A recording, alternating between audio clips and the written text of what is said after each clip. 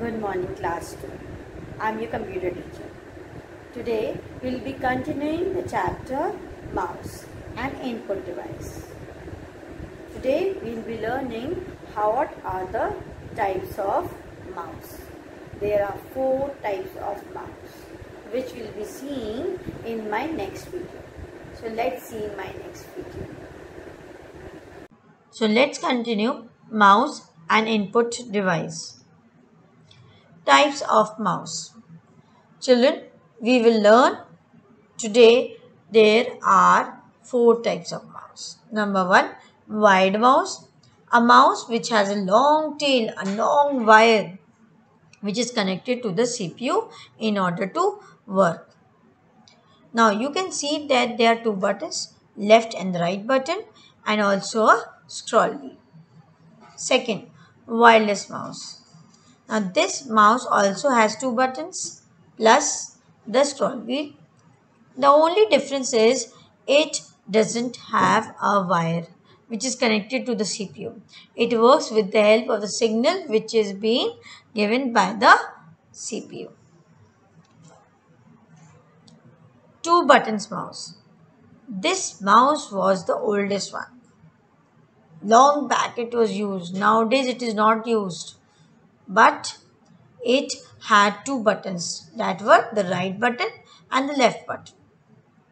With the invention of the mouse, there came also a new feature of a scroll mouse. Yes, this is the fourth type of mouse.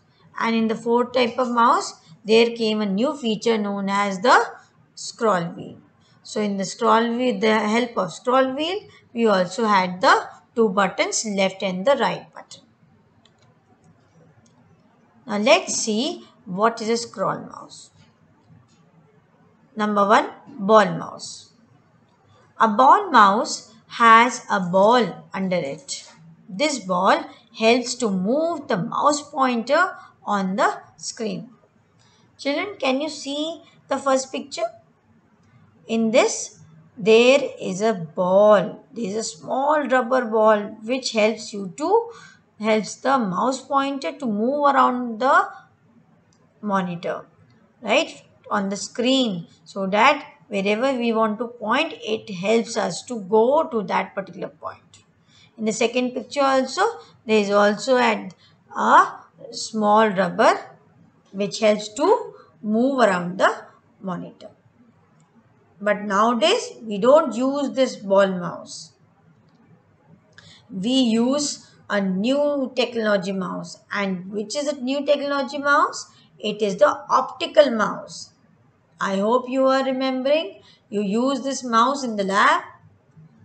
It uses light instead of a ball for movement of the mouse pointer now children can you see a small red light and just under the mouse?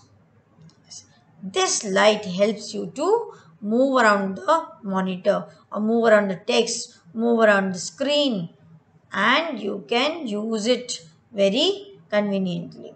So instead of a ball, there came a new technology of the light which helps to move around the screen. I hope you remember that this mouse you have seen in the computer lab also. And at home also you are using the optical mouse.